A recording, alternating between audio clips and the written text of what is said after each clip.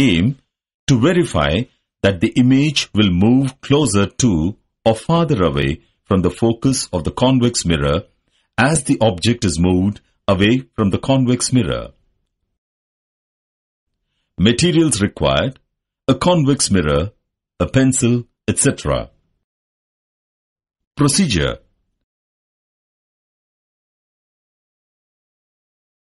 Hold the convex mirror in one hand.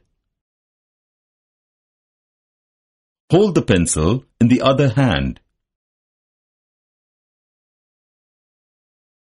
Look at the image of pencil formed by the convex mirror. The image formed is virtual, erect and small in size. Now move the pencil away from the mirror.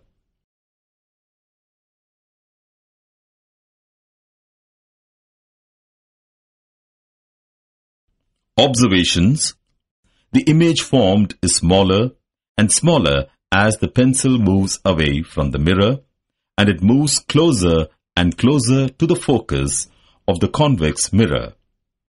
Conclusion The image would move closer to focus of the mirror as the object moved away from the convex mirror.